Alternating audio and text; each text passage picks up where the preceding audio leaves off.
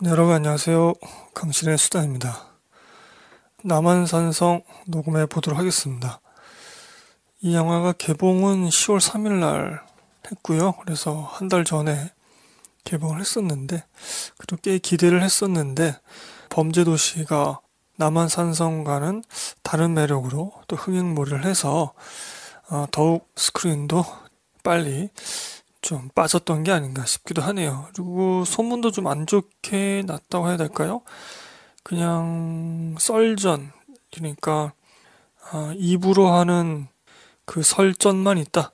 뭐 이런 얘기만 있어서 좀 지루하다는 평가도 많이 있었고 그렇게 입소문이 퍼지는 바람에 영화가 아, 손익분기점도 넘기지 못했네요. 어, 10월 3일날 개봉을 했고 140분이고요. 15세 관람가입니다. 이거 보고 조금 놀랐는데 이게 15세였던가 싶었는데 전투 씬이 조금 좀 센 장면이 좀 있긴 하더라고요. 음, 그러니까 그런 매력도 있는 영화인데 좀 입소문이 한쪽만 너무 강조한 것 같기도 하고 자 스크린은 1229개까지 달렸었는데 흥행은 384만에서 그쳤네요. 어, 150억이 투자되었다고 하는데 손익 분기점이 약 500만이라고 하는데요. 어, 좀 손해를 봤네요. 음, 이 영화가 한국에서는 일반 관객 평가도 좀 안 좋았지만 해외에서는 좀 좋은 평가들을 받고 있습니다. 뭐 여러 영화제에 초대도 되고 음, 그런 얘기를 들은 것 같아요. 이게 현재 VOD가 만 원이 나왔더라고요. 음, 제가 VOD 나오기 전에 녹음을 해서 좀 타이밍을 한번 맞춰보자. 대벌을 한번 쳐보자. 뭐 이런 나름의 전략을 가졌었는데 네, 이미 남한산성 VOD가 나왔습니다. 만 원이죠 현재는. 여러분 음, 아직 못 보신 분들은 저희 방송 청취하시고 어, 이 영화 보셔도 좋을 것 같습니다. 오늘 뭐 스포를 하지 않고 뭐 짧게 한 30분 정도로 음, 간략하게 그냥 영화 좋았던 것들 너무 아쉬워서요. 이렇게 묻힐 만한 영화는 전혀 아니라고 생각하고 저는 매우 재밌나게 봤고 이게 참 좋은 사극이다라는 생각을 하거든요. 홀대를 당하는 게 매우 아쉬워서 어, 녹음을 하게 되었습니다. 저도 이거를 음, 오래전에 봤기 때문에 잘 기억이 안 나요. 그래서 녹음하기 전에 VOD를 한번 더 볼까 했는데 그렇게까지는 하기가 좀 그렇고 그래서 어, 앞서 말씀드린 대로 짧게 그냥 언급하고 넘어가겠습니다.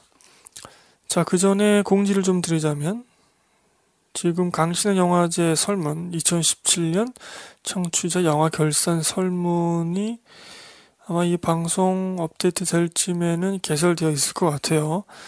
어, 그 설문에 많이 참여해 주셔서 연말에 있을 2017년 강신의 영화제에 또 풍성하게 참여해 주시기를 바랍니다. 그러니까 그 설문을 토대로 해서 청취자분의 시상 결과와 또 저의 시상 결과 이렇게 두 개를 함께 하게 되죠. 그리고 아마도 오디오 생방송으로 강신 영화제를 나중에 진행하게 될 것 같습니다. 저희 방송 트위터도 있습니다. 강신의 수다 이렇게 검색하시면 되죠. 팔로잉 해주신 분들이 계시네요. 영어로 써있는데 서유성님인가요? 그리고 양은영님 이렇게 두 분이 해주셨네요. 감사합니다. 제가 요즘 마팔 잘 안 하고 있는데 혹시 마팔 원하시는 분들은 음, 뭐 따로 말씀 주시면 마팔 하도록 하고요. 음, 저희 블로그도 있죠. 포탈 다음에서 검색하시면 강신의 수다 이렇게 검색해서 찾아오실 수 있습니다. 11월 영화 페이지가 개설되어 있습니다. 여러분이 11월 달에 보신 영화들 감상평을 댓글로 남겨주시면 나중에 무슨 영화 보셨나요? 라는 코너로 녹음을 하죠.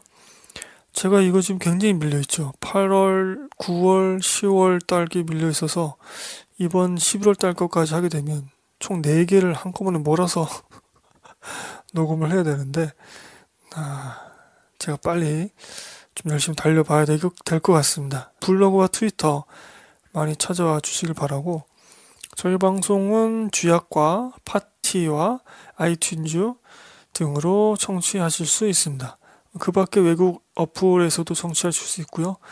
저희 방송이야 워낙 쥐약을 홍보하고 있습니다만 음, 여러분들이 편하신 대로 선택하시면 되겠죠. 자, 아시다시피 이 영화는 어, 김은 작가의 동명 소설 남한산성을 원작으로 삼고 있습니다. 김은 작가가 JTBC 요즘 남한산성이 계속해서 홍보가 되는데 뭐 썰즈에도 나오고 뭐 계속 그럽니다. 하여튼 김은 작가가 나와서 했던 말을 들어보면 소설의 대부분을 거의 어, 영상으로 구현했다고 합니다. 그리고 그 활자와 영상은 매체 자체가 다르기 때문에 그 차이에서 오는 것들은 좀 영화적으로 영화적 재미를 위해서 따로 뭐 집어넣은 씬들도 있다라고 설명을 해 주시더라고요. 김 작가는 칼의 노래라는 것도 쓰신 바가 있고 저는 이 소설을 옛날에 본 것 같아요 남한산성을 근데 저는 아, 김은 작가의 음, 스타일이라고 해야 되나 문체 그런 것을 별로 좋아하진 않아서 당시에는 좀 재미없게 소설은 재미없게 봤던 것 같습니다. 하지만 또 영화는 어, 매우 재밌게 봤고요. 어, 이 영화는 어, 영평상 영화평론가 협회에서 주는 그 영평상에서 4개의 부문을 수상했습니다.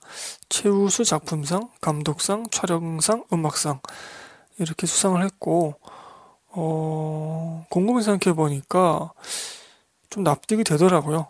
이 수상 결과에 대해서 음악상도 제가 요즘 남한산성 OST를 듣고 있는데 영화를 볼 때는 이렇게 크게 두드러지진 않았던 것 같은데 그 음악을 별도로 들어보니까 아, 음악들도 영화와 잘 어울렸던 것 같아요. 그리고 음악 자체도 좋고 음, 11월 25일 날 청룡상이 청룡상 시상식이 있는데 거기서도 7개 부문에 지금 후보로 올라가 있습니다. 음, 이 감독님은 황동혁 감독님 연출 맡으셨고 각본도 직접 쓰셨죠. 이분이 소설을 기반으로 한 2011년작 도가니도 공지영 작가가 쓴 그 공유 씨가 나오고 그 소설도 영화로 어, 옮기신 바가 있죠. 2007년에는 마이파더 그리고 2013년에는 수상한 그녀 이렇게 만드신 적이 있습니다. 마이파더, 도가니, 수상한 그녀 모두 장르가 좀 다르고 결도 다른데 남한산성까지 이거 사극이잖아요. 어, 마이파더는 제가 보진 못했는데 그래도 어느 정도 수준 이상의 영화는 만드신 분 아닌가. 대중성과 예술성을 모두 갖추고 그 장르적 속성에 맞는 그 영화를 만드신 게 아닌가 싶고요. 뭐 수상한 그녀 같은 경우는 해외에 많이 팔렸습니다. 판권이. 그래서 리메이크 뭐 드라마나 영화나 연극 뭐 이런 쪽으로 아, 뮤지컬이던가요? 그쪽으로 리메이크 판권이 많이 팔렸습니다 자, 배우들을 좀 언급하겠습니다. 연기들이 다 좋으셔서 좀 언급해야 될 배우들이 좀 많죠. 자, 남한산성 뭐 스토리를 먼저 말씀드려야 되나요? 이 스토리는 뭐 그거죠.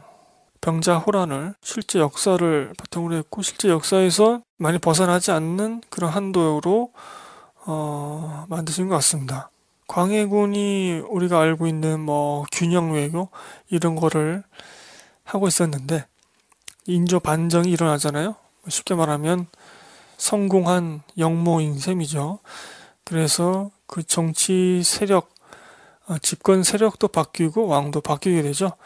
그래서 광해군은 쫓겨나고 그 광해군을 옹호했던 세력들도 같이 쫓겨나고 인조가 이제 옹립이 됩니다. 사실 뭐 역사 이야기를 제가 깊이 있게 들을 수도 없고 뭐 역사 이야기를 할 필요도 없는 그런 영화라고 생각하지만 많은 분들은 뭐 인조도 컴플렉스가 있었다 그런 얘기를 하죠. 어, 자기 어떤 정통성 이런 문제 때문에 더더욱 명나라에 좀 치우친 그리고 조금 센 모습을 허세 있는 모습을 보여주려고 했던 거 아니냐. 뭐 이런 해석도 있긴 합니다만. 청나라 그 당시에 이제 후금이 떠오르는 국가였죠 그 당시는. 그래서 조선의 어, 외교적인 변화 이런 것을 요구했지만 조선에서는 그걸 받아들일 수 없었죠. 우리나라는 또, 어, 그 중국 한족에 대한, 한족이 세운 나라에 대한 그런 사대가 또 있었고, 뭐 그렇지 않더라도 중국 제국에 대해서 사대를 했었습니까? 그걸 쉽게 버릴 수 없다고 생각했죠. 왜냐하면 광해군 같은 경우는 그걸 실용적으로 좀 피해가는 뭐 사대든 뭐든 그것보다는 우리가 먼저 살아야 되는 거 아니냐라고 해서 그런 이제 실용 외교, 균형 외교를 하려던 왕이었고 근데 그 왕을 몰아내고 왔으니까 똑같이 광해군처럼 균형 외교를 한다면 말이 안 되잖아요. 그래서 인조와 그 집권 세력들은 어떤 뭐 학문적인 이데올로기도 물론 있었겠지만 정치적으로도 더더욱 금나라 후에는 청나라가 되는 그 나라와 어떤 정상적인 외교 동등한 수준의 외교 이것을 맺길 거부하죠. 그러다가 한 방 얻어맞죠. 병자호란 이전에 정묘호란이 있었죠. 그래서 이제 그때 이제 형제의 관계를 맺게 됩니다. 뭐 사실상 우리나라가 진 건데 그때는 이제 아, 금나라한테는 우리나라 완전 정복하는 게 문제가 아니라 자기들은 이제 중원으로 가서 좀 명나라를 쳐야 되기 때문에 지금 급하죠 마음이. 그래서 후방을 먼저 탄탄하게 지키기 위해서 조선에게 그런 화친을 맺고자 했던 건데 조선이 자꾸 이상한 말 하니까 아예 군사를 이끌고 와서 그냥 쳐버린 거죠. 근데 그렇게 정묘호란 이후에 형제의 관계를 맺었음에도 조선이 자꾸 뻗대끼니까 말도 안 듣고 막 이상한 짓 하고 막 굉장히 이상한 짓을 많이 했더라고요. 제가 살펴보니까. 그러니까 이제 완전히 열받은 거죠. 그래서 그 후에는 작심을 하고 쳐들어오게 됩니다. 그래서 나중에는 여기 나오는 청태종인가요? 홍타이지 황제도 직접 오게 되죠. 완전히 얘들을 내가 아, 굴복을 시켜야 되겠다. 그래서 형제 관계였는데 이제 군신 관계로 아, 격화가 됩니다. 그렇게 쳐들어와서 원래는 강화도로 피신을 해야 되는데 강원도로 갈지 말지 또 얘기하다가 시간이 지체돼서 남한산성으로 가게 되고 원래 산성 산성 중심의 그런 방어 체계를 짰다고 해요. 근데 정작 그 남한 산성에는 식량도 무기나 화약도 그렇게 마땅치 않았다는 거죠. 날씨는 매우 추웠고 그래서 영화 속에 보면은 총을 쏘는데 0점 조절이라고 해야 되나? 이 조준이 잘 안 돼가지고 막 똑바로 맞추고 총을 쐈는데 총알은 옆으로 비껴가는 그런 현상이 벌어집니다.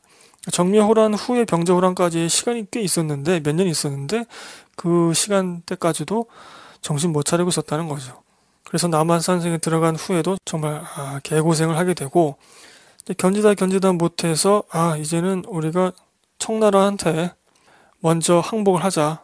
저들이 원하는 요구를 들어주자. 이러한 이제 최명기를 위시한 이병헌 씨죠. 주화파가 있고 우리가 어찌 저 오랑캐에게 고기를 숙일 수 있는가. 싸우다 죽더라도 우리의 신념을 깎을 수는 없다. 이런 척화파 김상원 이런 인물을 위시한 김윤석 씨가 연기를 했죠. 그래서 이 두 파가 어, 뭐 있었다고 합니다. 그래서 이병헌 씨와 김윤석 씨가 서로 어, 존경을 하면서도 이러한 어떤 사안에 대해서는 서로 공방을 하는 그런 모습을 보여주고 인조 역할로는 이제 박해일 씨가 나옵니다. 그리고 그 당시 남한 산성에 살고 있던 대장쟁이 선할세 역을 이제 고수가 맡아서 영화 속에서도 중요한 어떤 인물을 띠기도 하죠. 그리고 남한산성 방어 책임자 뭐 그렇게 말씀드릴 수 있을까요? 수어사 그 이시백이라는 그 실제 인물을 어, 맡은 박희순 씨가 나오는데 어, 영화 속에서도 굉장히 강직한 인물로 나오고 실제 역사에서도 그렇게 기록이 되어 있더라고요. 그리고 이분이 나중에 뭐 정승까지 하던가 그렇게 되어 있던 걸로 알고 있습니다. 그리고 영화 속에서는 유머 코드를 담당하시는 송영창 배우가 연기를 했는데 영의정 그 도채찰사라고 임금의 군 통수권을 잠시 맡은 뭐 그런 느낌일까요? 네, 그러한 걸 맡아서 남한산성의 방비는 이제 박희순 씨가 하지만은 이 조선의 전체적인 어떤 군 전략이라든가 이런 것들은 이제 도채찰사, 영의정, 송영창 씨가 맡게 되죠. 영화 속에서는 약간 좀 우스꽝스럽게 나오는데 실제 역사에 기록된 거는 어 그래도 꽤 어느 정도는 유능한 그리고 인조 반정의 주역인 어 그런 사람으로 나오더라고요. 그리고 조우진 씨가 있습니다. 이름은 좀 생소해도 얼굴 보시면 아실 건데요. 보안관에서도 나왔었고 여러 작품에서 좋은 연기를 보여주시는 분인데 이 영화 속에서는 조선인이지만 청나라에게 어, 뭐랄까 귀화를 했다고 해야 될까요? 원래는 그 국경지대에서 통역을 하는 이제 그런 사람이었는데 아예 청나라로 들어가서 아예 청군의 길라잡이가 되는 거죠. 쉽게 말하면 이 사람을 뭐 민족의 배신자라고도 말할 수 있지만 이 사람이 그런 얘기를 하죠. 당신들은 나를 조선의 백성이라고 생각한 적이 없지 않습니까? 하지만 나는 이제 청나라의 백성입니다. 뭐 이런 얘기를 합니다. 그러니까 그 나름대로의 사연도 있고 그래서 나쁘게만은 볼 수 없는 뭔가 좀 음, 짠한 측면도 있고 요건 해야 되겠는데 아 뭔가 좀 짠해 이해가 돼 뭐 이런 느낌 영화가 좀 그렇게 어, 복합적으로 좀 인물들을 입체적으로 묘사하려고 노력을 한 것 같습니다. 그리고 이다위 배우가 고수의 뭐 동생이라 해야 될까요? 뭐 그런 식으로 나오게 되고요. 그리고 허성태 씨가 용골대 장군으로 어, 청나라 군대를 이끌고 남아산성을 포위하는 그런 장군 역할로 나옵니다. 밀정에서도 나왔었죠. 그리고 범죄도시에서도 나왔었고 범죄도시가 남아산성을 먹었는데 네, 두 영화에 무슨 나오셨네요. 그리고 청나라 황제 홍타이지 김법래라는 배우가 연기를 했는데 어우 목소리가 굉장히 좋으셔서 어, 정말 기억을 안 할 수가 없더라고요, 이 배우를. 그리고 그 영화 속에 나오는 어떤 칸의 그 황제의 위엄이라고 해야 될까? 통이 큰 모습. 이런 모습들과 그 연기와 목소리 잘 어울려서 참 인상이 남았습니다. 어, 이분은 뮤지컬 배우 20년 차 라고 하시네요. 그래서 그런지 또 성악과 출신이라고 하시고 목소리가 울림이 장난 아닙니다. 예전에는 은밀하게 위대하게에서도 나오셨다고 하네요. 자, 언급한 분들 모두 다 연기가 너무 좋으셨고, 어, 그리고 이 인물들을 다 입체적으로 묘사를 하려고 합니다. 예컨대 김윤석 같은 경우는 굉장히 신념에 투철한, 신념에 매몰된 인물로 우리가 어, 생각할 수도 있지만 이 영화 속에서 그렇게만 묘사되지는 않습니다. 이병헌과 어, 서로에 대한 처지를 공감을 하고 또 존경을 하고 그러니까 둘 다 애국하는 사람이지만 그 애국의 모습이 달랐던 것이죠. 노선이 달랐던 것이고 단순히 권력 투쟁이라든가 자신의 입지를 지키기 위한 어, 그런 모습이 아니라 그리고 이제 인조 같은 경우는 어, 어떻게 보면 두 번의 난을 겪고 그 두 번의 항복을 하는 셈이잖아요. 쉽게 말하자면. 그래서 좀 무능한 왕이다. 좀 멍청한 왕이다. 이렇게 좀 생각을 했었는데 이 영화 속에서 그렇게는 그려지지 않습니다. 그러니까 어떻게 보면 이 영화의 단점이라고도 볼 수 있지만 그 남한산성 이 영화가 시작하는 그 이전 상황은 나오지 않잖아요. 정묘 호란이라던가 그래서 박해일 씨가 맡은 이 인조가 어떤 멍청한 짓을 했는지 이거는 우리가 알 수는 없죠. 실제 역사책을 들어보지 않는 이상 그리고 이 영화 속에서 그런 무능한 모습, 유머 코드, 그 우리가 손가락질 할 수 있는 그러한 모습을 담당하는 건 영의정이거든요. 인조는 비교적 그런 무능한 모습에서 조금 비껴나 있습니다. 뭔가 잘 대처하지 못하는 좀 초조한 모습? 이런 모습으로 조금 다르게 묘사를 하고 있죠.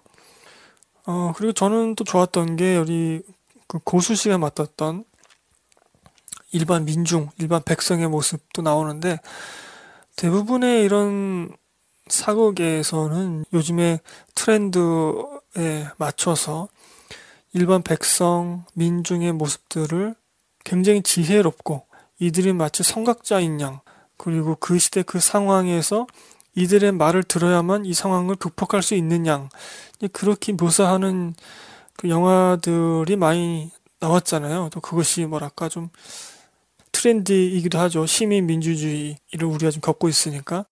또 한편으로는 그것이 너무 식상한 모습을 줄 수 있고 너무 자기적인 모습으로까지 갈 수가 있거든요. 역사는 우리가 물론 해석하는 거지만 실제 그 시대에 가서 봤을 때 그들이 정말 그렇게 생각하고 행동했을까? 그렇게는 보지 않거든요, 저는. 이 영화 속에서는 이 고수 씨를 비롯한 민중들이 오히려 이 나라와 위정자들을 욕하죠. 왜 이 모양이 이 꼴이냐. 정말 헬조선 아니냐 이거죠. 근데 이들은 그렇게 말할 자격이 있는 것이 정작 이 나라를 지키고 적들과 싸우고 뭐 농사 짓고 뭐 생산하고 이런 것들은 다 이들이 하고 있거든요. 민중들이. 그러니까 이들은 그렇게 말할 수 있는 비판할 수 있는 충분한 자격이 있는 셈이죠. 그래서 영화는 이런 식으로 어 민중의 모습들을 단순하게 훌륭하고 정말 선하고 이 나라 이 민족을 위해서 모든 걸 바치려고 아낌없이 바치려고 하는 그런 사람으로만 묘사하지는 않습니다. 살기 위해서 싸우는 생존을 위해서 싸우는 조선이고 뭐고 왕이고 뭐고 다 필요 없이 내가 살아야 되니까 싸우는 거죠. 어떻게 보면 이것이 더 현실적인 그런 모습이겠고 그 당시 더 많이 볼 수 있었던 모습이 아닐까 싶습니다. 물론 그렇다고 해서 이들이 뭐 애국하려는 마음이 없었냐 또 그건 아니겠죠. 하지만 어떤 특정한 모습만 보여주려고 하지 않았다 영화는. 자, 혹시 VOD로 이 영화를 보실 분들은 음악도 좀 유심히 살펴보시면 좋을 것 같아요. 앞서 설명해 드린 대로 뉴이치 사카모토 일본 분이 맡으셨는데 뭐 레버넌트도 하셨고 철도원 그리고 마지막 황제 등등해서 많은 영화의 음악을 맡으신 분이죠. 자, 이 영화 좋았던 점을 인물 소개하면서 다 이미 말씀드린 것 같은데 음, 이 영화가 단순히 또 설전으로만 그러니까 두 인물 이병헌과 김윤석의 말싸움에 초점이 맞춰진 그런 영화는 아닙니다. 물론 그것이 중요한 요소이지만 영화 속에는 영의정을 비롯한 좀 무능한 어, 집권 세력의 그런 우스꽝스러운 모습, 유머 코드 이런 것도 있고 전투신도 한 두세 번 나오지 않나요? 그것도 저는 꽤 재밌게 봤습니다. 촬영도 어, 뭐 괜찮게 보았고요. 아, 두세 번이 아닌가? 한 서너 번 나오나? 여튼 간에 그런 전투신도 있고 그리고 우리 민중의 고통 이런 면도 나오고 있습니다. 정말 추워 죽겠는데 방한복이나 이런 것들이 전혀 준비가 안 되어 있어서 그 쌀 가마 있잖아요. 그 쌀 가마 그 지푸라기로 조금이라도 좀 추위를 견딜볼까 하는 그런 모습이 있었는데 그것마저도 다시 말에 먹이로 주는 말들이 죽어가니까 어쩌면 이러한 진짜 아, 이상한 일들이 일어나면서 민중이 고통을 겪는 모습도 나오고 있습니다. 단순히 설전만 있는 말싸움만 있는 영화는 아니라는 말씀을 꼭 드리고 싶고요. 그래서 영화는 어떤 특정 요소를 자기적으로 과도하게 강조하는 게 없습니다. 실제 역사나 이 소설 원작에 충실하려는 그러면서도 영화적인 재미, 현대적인 재미를 주려고 노력한 그런 영화라는 생각이 듭니다. 그리고 우리 어, 관객들이 요새 좀 많이 지쳐하던 것이 심파를 좀 과도하게 쓰는 그런 영화들. 뭐 나쁘게 말하면 감성파리가 되는 것이고, 뭐 좋게 말하면 감정적으로 잘 이끌어가는 그런 영화일 텐데, 또 하나는 우리가 뭐 소위 국뽕이라고 하죠. 너무 애국주의를 너무 강조하는 영화. 너무 자기적으로 그것도. 그러니까 저는 음, 누누이 말씀드리지만 심파나 애국주의나 그 자체가 나쁘다고 생각하지 않아요. 뭐 그것도 영화 속에서 중요한 음, 재미 요소가 될 수도 있고 어, 또 중요한 요소가 된다고 생각합니다. 적절하게 쓰고 또 잘 연출한다면. 근데 요 근래의 영화들이 어, 관객들을 좀 쉽게 본 그런 감도 있죠. 너무 자기적이고 과잉되고 너무 쉬운 방법으로만 이 심파 요소나 애국주의를 쓰려고 했습니다. 그것이 문제가 됐었죠. 그래서 오히려 그것에 대한 반동으로 심파나 애국주의가 조금이라도 들어간 영화가 있으면 뭐 무지하게 까죠. 그렇게 깔 필요는 없다고 생각하는데 여하튼 이 영화는 심파나 애국주의를 적절하게 쓴다고 생각합니다. 적절하게 쓴다고 생각하지만 그것을 강요하지는 않습니다. 관객에게. 인조가 나중에 청황제 앞에서 세 번 절을 하고 아홉 번 머리를 조아리잖아요. 저는 그 모습이 굉장히 비장하게 묘사될 줄 알았어요. 굉장히 측은하고 어, 쓸쓸하고 그렇게 묘사될 줄 알았는데 생각보다는 담담하게 제 생각보다는 담담하게 아, 묘사가 되더라고요. 그리고 대신들이 뭐 눈물 찔찔 흘리면서 막 전하 막 이럴, 이럴 줄 알았는데 뭐 그런 모습도 거의 없었던 것 같아요. 어, 이러한 사태 또 이러한 어떤 상황 이런 것을 이 영화는 어, 신념과 생존의 관점을 더 중요시하면서 어, 전개되고 있는 것이 아닌가 싶습니다. 앞서 말씀드린 대로 이병헌, 그 주어파인 이병헌과 척화파인 김윤석. 김윤석은 청나라하고 화친 맺으면 안 됩니다. 항복하면 안 됩니다. 이거고 이병헌은 여기까지 왔으면 이제 항복합시다. 아니면 다 죽어요. 뭐 이런 얘기죠. 두 인물이 어떻게 보면 상반된 얘기를 하고 있는 것인데 좀 재밌는 게 이 두 인물 모두 어떤 결기, 그러니까 자신이 택하고 있는 신념에 대한 결기와 또 인간적인 따스함을 모두 함께 지니고 있는 그런 인물들 나오죠. 대표적으로 그 결기를 느낄 수 있는 거는 예고편에 나오는 거니까 제가 말씀드리자면 김윤석이 그 뱃사공을 죽이죠. 그 뱃사공이 조선의 왕이든 청나라의 황제든 먹을 것만 준다면 나는 길을 안내해 줄 겁니다. 라는 얘기를 하죠. 죽여버립니다. 하지만 또 그 뱃사공의 손녀 딸을 돌보기도 하죠. 그리고 이병헌 같은 경우는 그 대군이 활을 쏩니다. 그 혼자 말을 타고 협상을 하러 가서 대군과 대치하고 있는 상황에서 처음으로 면을 보이는 그런 장면이 영화 첫 시작이죠. 거기서 음 약간 위협을 주기 위해서 청나라 군대가 활을 쏘죠. 근데 그 활을 겁을 먹거나 피하거나 그러지 않습니다. 말은 놀라가지고 움직이지만 이병헌 씨의 눈은 흔들림이 없죠. 그러한 결기를 보여주면서도 더 이상 이 백성들을 어, 저 청나라 군대의 말굽에 짓밟히게 할 수는 없다. 이런 것을 정말 눈물로 인조에게 호소를 하죠. 그리고 인조에 대한 어떤 충심도 있죠. 자칫하면 왕까지도 피해를 큰 어떤 위해를 당할까 걱정입니다. 이러면서 눈물로 호소를 하는 모습들. 이렇게 모두 두 인물이 강한 결기와 또 인간적인 따스함, 인간적인 모습 이런 것들을 함께 보여주고 있는데요.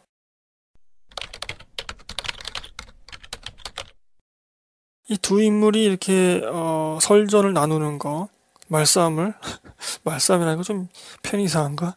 하여튼 그런 것들이 어떤 권력 다툼이 아니라 정말 신념의 다툼이었던 것이죠. 그 원칙과 실리의 문제.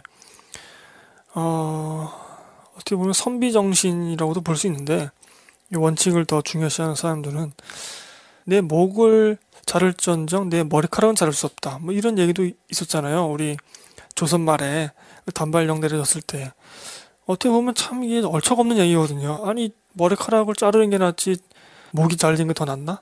이렇게 생각할 수도 있지만 그럼에도 불구하고 자신이 어떤 생각한 신념이나 원칙을 꺾지 않으려는 어, 그런 모습이 우리나라는 있었거든요. 네, 있었죠 그런 모습이. 그것들이 이제 어, 일제 시대를 거치면서 친일파들이 득세하고 기회주의자들이 승승장구하면서 그런 선비 정신을 갖고 있는 분들이 이제 핍박을 당하고 어, 그러면서 마치 우리나라 한민족은 굉장히 이기적이고 기회주의적인 것으로 스스로 생각하는 경향이 있는데 사실 우리나라는 이런 선비 정신이라고 해야 될까 좀 꼿꼿한 그런 면들이 좀 많이 있었죠. 그래서 일제 36년 동안에 독립운동 한 거 아니겠습니까? 그런 분들 덕에 여하튼 영화는 참 재밌게도 어, 그 원칙 대 실리의 어떤 구도로 보지 이것을 사대와 실용의 구도로 보지 않습니다. 그러니까 두 인물 같은 경우는 원칙 대 실용 하지만 나머지 조금 유머 코드가 섞인 그런 영의정이라든가 다른 분들은 이제 4대를 얘기하는데 김윤석 씨는 제가 기억하기로는 4대 그러니까 명나라에 대한 의리 뭐 4대 이런 것들을 언급을 안 했던 것 같아요. 제 기억에는 언급을 했더라도 그게 어, 중요한 포인트는 아닌 아니었던 것 같고 그러니까 이것은 오늘날에도 우리에게 굉장히 유효한 그런 질문인 것이죠. 원칙을 따라갈 것인가? 아니면 이 현재 상황에 맞는 실리적인 선택을 할 것인가? 그러니까 원칙도 어떤 행동의 원칙이 아니라 어떤 신념의 원칙을 따라가야 할 것이죠, 사실은. 행동의 원칙이라고 한다면 나는 꼭 이런 행동을 해야 돼. 라는 것이지만 사실은 그 행동을 하려고 마음먹은 그 근본적인 그런 이유가 있잖아요. 어떤 자신의 철학적인 원칙이라든가 그런 신념의 원칙, 그것이 더 우선시 되어야 되는 것이죠, 원래는. 이것이 좀 뒤바뀌면 또 괜히 답답한 사람이 되는 거고. 여하튼, 그래서, 음, 영화는 이처럼 두 주인공, 이 분들을 사대와 실용의 구도가, 구도가 아니라 원칙과 실리의 구도로 보기 때문에 이것은 오늘날에도 우리에게 꽤 유용한 그런 생각할 거리를 던져주고 있다라고 생각을 합니다. 이 방송 녹음을 좀 하려고 생각을 하면서 떠올랐던 게 옛날 봉건 체제 그런 왕정에서는 이제 사대가 있었고 중국에 사대를 하고 막 그랬었죠. 또 오늘날에는 사대하는 것이 없을까라는 생각을 해보았습니다. 어떤 분들은 너무 미국의 미국 중심적인 생각을 하는 것이 미국에 사대하는 것이 아니냐 뭐 이런 말씀도 하시는 분들도 계시고 근데 오늘날은 어떤 그 나라에 사대한다는 것보다는 그 이념의 사대를 하고 있는 것이 아닌가라는 생각이 좀 들더라고요. 이데올로기에. 진보와 보수를 떠나서 어, 좀 그런 생각이 들더군요. 그러니까 사대 같은 경우는 어떤 행동의 원칙이잖아요. 앞서 제가 말씀드렸듯이 그렇다면 그 행동을 하게 되는 그 원인, 근본적인 원인, 어떤 철학이라든가 어떤 상황, 이것은 생존이잖아요. 살기 위해서 우리는 사대를 했던 것인데, 그리고 오늘날에도 살기 위해서, 혹은 더 좋은 것을 만들기 위해서 어떤 이념을 선택한 것이고, 그렇다면은 그 이념이 우선 가치가 아니라 그 생존이나 그 상황, 이것을 먼저 살펴봐야 하는 것이죠. 그런데 이것의 가치 순위가 자꾸 뒤바뀌다 보니까, 어, 현대의 상황이나 또 어떤 실리적인 그런 면에서 굉장히 답답한 그런 선택을 하는 경우가 있는 것 같습니다. 이것은 뭐 제가 생각하기로는 보수나 진보나 모두 해당하는 그런 문제라고 생각이 듭니다.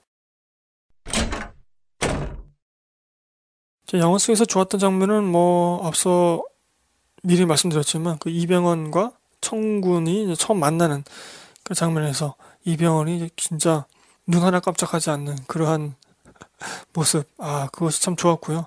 그것도 어떻게 보면은 나름의 선비 정신인 것이죠. 그리고 또 하나는 이제 남한산성에 식량이 없다고 말씀드렸잖아요. 그 말들의 먹이를 줄 만한 그런 이제 꼴이라 그러는데 아, 지푸라기 이런 것들도 말 먹이도 이제 없어지는 겁니다. 남한산성이 포위되어 있으니까 어디서 식량을 가지고 올 그것도 안 되죠. 또 한겨울이고 이제 식량이 없어지다니까 이제 말을 죽여서 식량을 삶게 되는데 이 말고기를 먹던 이제 민중이 마침 이제 그 자리에 시찰하러 나온 그런 수뇌부를 보면서 이런 얘기를 하죠.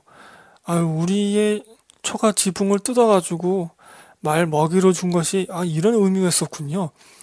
하지만 더 좀 말들이 통통했을 때 죽여서 식량으로 우리에게 줬으면 더 좋았을 텐데 여하튼 감사합니다. 뭐 이런 식으로 영의정을 아, 대놓고 비꼬면서 뭐 그런 얘기를 하죠. 영의정이 화가 나가지고 저 사람을 당장 죽여라 뭐 이런 얘기를 합니다.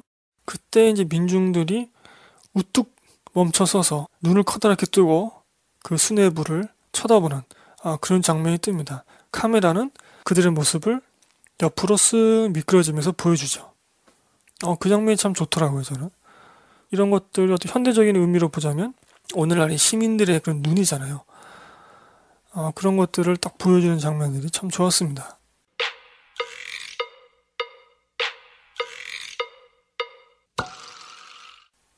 자, 마지막으로, 음, 왜 우리는 남한산성 이 영화 처럼 정말 굴욕의 역사, 왕이 세 번 절하고 아홉 번 머리를 조아린 내용이 나오는 영화를 봐야 되는가?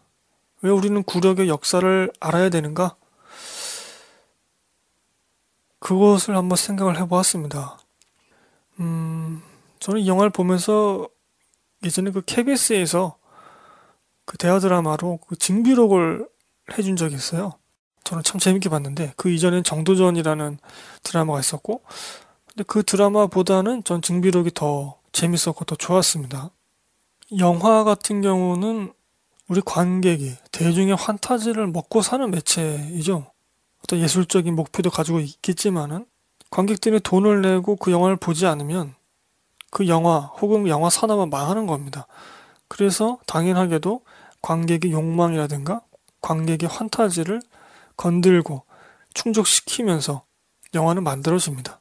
그래서 우리 관객들은 소위 뭐 국뽕이든 뭐 애국주의든 간에 이기는 영화, 영웅적인 영화. 그래서 우리 속을 좀 시원하게 만드는 영화를 원하고 있죠. 대표적인 게 명량이겠죠. 뭐 범죄 도시도 그러한 논리로 또 볼 수도 있겠고요. 나쁜 범죄인들을 완전히 그냥 마동석이라는 괴물 같은 경찰이 제압하는 그런 영화니까.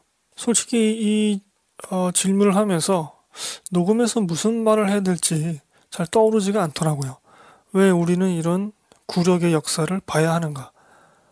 왜 알아야 하는가? 뭐 쉽게 말씀드릴 수 있는 건 우리 뭐 미래에는 그런 같은 실수를 반복하지 않기 위해서라고 뭐 쉽게 말을 할 수 있겠지만 그건 너무 좀 관념적인 대답인 것 같고 우리가 돈 만 원을 내고 이거 VOD를 보고 극장으로 왜 가야 하는가 이런 질문하고도 좀 동떨어져 있는 그런 대답 같습니다. 저는 그렇게 생각합니다. 역사를 좋아하시는 분들은 이 영화를 재밌게 보실 수 있어요. 되도록 역사 그대로에 맞춰서 보여주려고 했기 때문에. 하지만 이 영화 같은 경우는 구력의 역사를 보여주면서도 영화적인 재미가 크게 떨어진다고 생각하지 않습니다. 저는 오히려 더 완성도가 좀 높은 영화, 높은 사극이라고 생각이 듭니다. 오늘날 트렌드에 맞춰서 자기적이고 과잉된 면이 거의 없으면서도 오늘날 우리 현재 이 땅에 살아가고 있는 우리에게 세련되지만 참 유용한 그런 질문을 함께 던지고 있는 영화라고 생각을 하고요.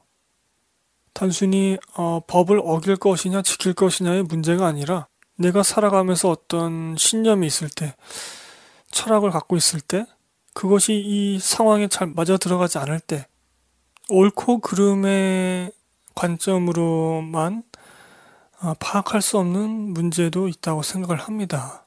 더 그 속을 헤아려 봐야 되고 그 상황이나 맥락이나 이런 것을 봐야 될 때도 있는 것이고 마찬가지로 이 영화에서도 저 성 밖에는 대군이 몰려와서 포위하고 있는데 빨리 화친을 맺어서 백성들을 살리는 것이 더 좋은 거 아니냐.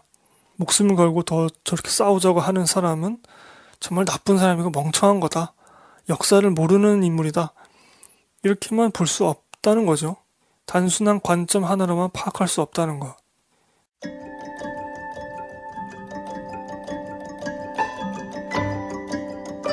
이상한 말을 많이 했네요.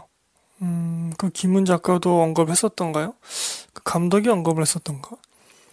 이제 선할쇠가 이제 고수 씨가 자기가 키우는 아이에게 너무 멀리 나가지 말아라 라고 이제 그 얘기를 합니다. 근데 그 평범한 말 한마디에 아, 여러 가지 감정이 느껴지더라고요. 병자호란 정말 생사가 왔다 갔다 하는 그 현장에 있던 사람들이잖아요. 뭔가 마음이 좀 찡하기도 하고, 어, 좀 그렇게 느껴지기도 했습니다.